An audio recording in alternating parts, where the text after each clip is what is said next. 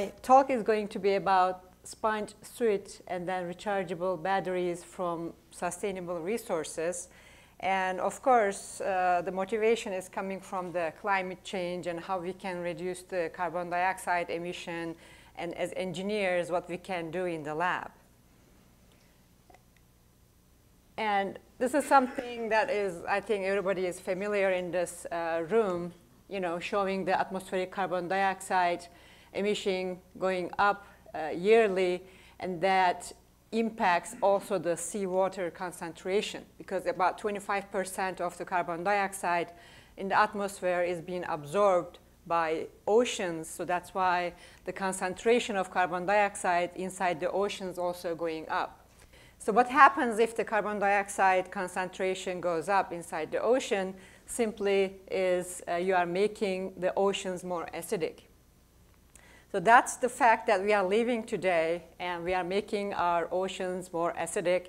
And if you look at the numbers here, actually, this shows the, since the beginning of the industrial era, and the ocean has absorbed about 525 billion tons of carbon dioxide. And, and today, it's about like 22 million tons per day. So that's a lot. So this this curve is going to continue going up, and then unfortunately, this curve is going to continue going up, and this one is going to uh, continue going down. So when you make, you know, uh, the chemistry change in the oceans, uh, simply it affects the marine life. I just want to give a quick example from our, uh, you know, blood. And uh, the human blood, you know, it's around like 7.3, 7.4 in pH. And if we have 0.2 to 0.3, you know, difference and drop in our pH, so we'll go into a coma and we'll die. So similar things will be happening in the, the marine life uh, as well, which we need to pay attention and then, uh, you know, do something about it for sure. And that's one of the stresses, you know, global warming, heating the, uh, the surface temperature of the ocean, and making acidic is one stress, and additional stresses are the oil spills. And many of us in our lifetime, we have seen, you know, a couple of oil spills, and then we also see that how it impacts. So simply we know the impact on the, uh, the birds and then the marine life, and they are all being impacted. And uh, so we start looking into what we can do, how we can clean this uh, mess from the ocean. And that's how we come up with this uh, sponge material. And it took about four years for us to develop this material. And what you are seeing is that after an oil spill, majority of the oil stays on the surface of the ocean. And so we just want to see, uh, you know, if we have a super inexpensive, a cheap material that we can clear and you know, take all the oil out of the ocean. So that's what is happening here. What you see on the left in blue color, it was the oil. And this is the sponge material. We turned that into a, like a flake format in this case and trying to clean the oil on the surface of the ocean. So as you can see, we were able to take all the oil spill from the surface. But not the only, you know, the oil spills just remain on the surface. Some of them actually goes under, under the water. And that's why we have to find a way of cleaning this oil spills or oil contaminants inside the, uh, inside the depth of the ocean too. So that's why we want to make sure that our material works in the depth of the ocean as well. And so that's what we have tested here. So this particular oil contaminant is being cleaned using our sponge material also while it is uh, at the bottom of the beaker. So I think myself and many of us said, if there's an oil spill, what can I do, right? Many of my friends are keep saying this. And so that's why we start kind of like asking a question to ourselves, you know, as a person, what can we do if there's an oil spill? So to personalize this uh, technology, so we have developed the sponge suit and uh, simply create a wearable technology that helps while you are swimming, you are also cleaning the ocean. So that's the main idea. And uh, believe it or not, you know, we entered this, uh, you know, wearable technology competition in Rome. And there were about 70 applicants and coming from 25 different countries. And we, we got the first place. So people paying attention to this, uh, so it was taken quite well. And the, the technology simply was you know, using a 3D printing and along with using our uh, sponge material, which is kind of like acting filler, and just making a sponge suit. And of course, we have versions for uh, men also. because that's the question everybody asks, so I am just answering before anybody asks. and uh, so this is, you know, what we are trying to do and to save the oceans. But of course, you know, by living in California, what we pay attention is that this carbon dioxide emission is really uh, uh, needs to be addressed, and then the main contributor here is the transportation. So for that reason, we kind of like uh, want to, you know, take the uh, the cars that are running on the fossil fuels, and if if we can feed like electrical vehicles instead.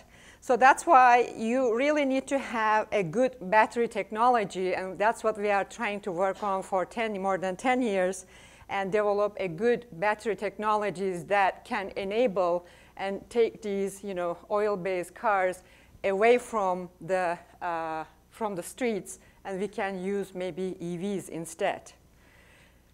So just want to show you, you know, a couple of the technologies we have developed in our group. And one of them is called silicon nanofiber. And this technology aimed to, you know, reduce the cost. Of course, the cost is always important. So by removing some of the unwanted materials in the battery system, so we were able to save the cost by 7%.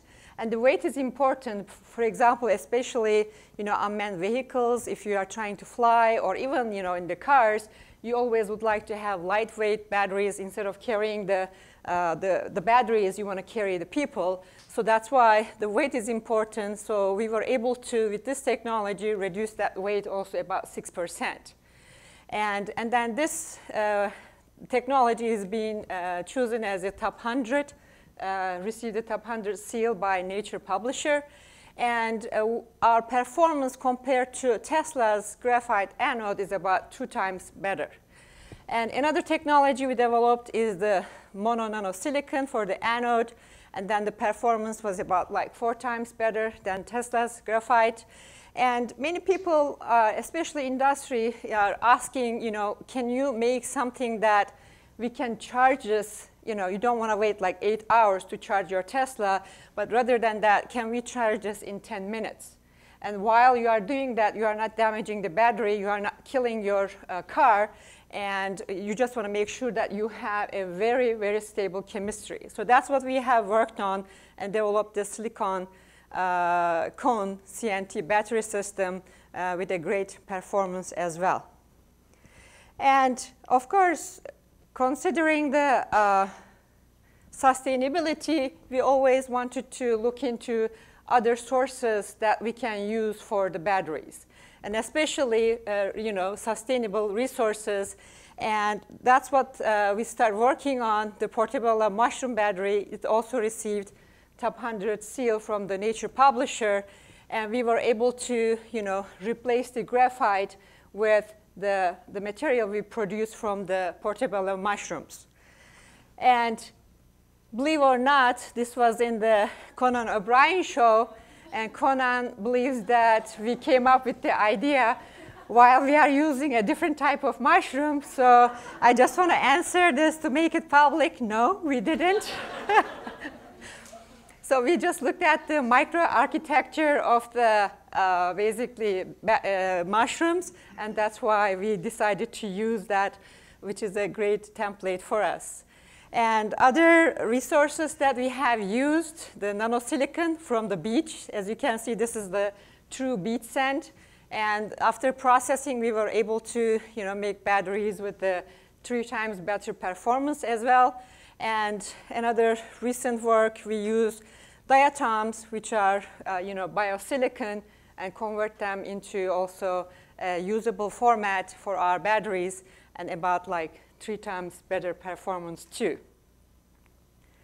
And since recyclability is, was one of my actions on campus, and uh, my project was try to use recyclable you know, material to make batteries out of it. And uh, since more than 28 billion glass bottles and jars end up in the landfills every year, and that's equivalent of filling of two Empire State Buildings every three weeks. So that's, that's a lot of material. And we were successfully actually take this uh, recycled bottle and process that and make a battery with four times uh, performance as well. And uh, our group is quite innovative, and we produce like literally uh, a patent almost every few months, and all being licensed by different type of uh, companies. And this is one of the company who took our uh, patents and, and then make a, a, battery, a real battery out of this, and it's a pouch uh, cell batteries which 35% uh, better performance that you can use in your cell phones today. I think I need to finish, so I am not, i just gonna show just one thing. And as part of my climate action also, I work with all the sustainability uh, directors of each campus, 10 campuses. So collected the data from each campus and put it together to make a comparison. So I'm gonna just make it quick here. So this is just showing comparison. You can see, you find yourselves here, uh, the Berkeley versus you know how people are doing, and then I'll just kind of like show where the UCR is, and then landfill waste. So we also looked into the landfill waste. So who's doing great, who's doing bad? Okay, so I am finishing, and then I just wanna say that you know this is the end, and uh, this problem that we have, climate act, you know, basically uh, warming is a global uh, problem. So our atmospheres are connected, our oceans are connected, so we cannot ignore any kind of like, you know, failure or, you know, disaster happening other side of the world because we are saying that we are too far.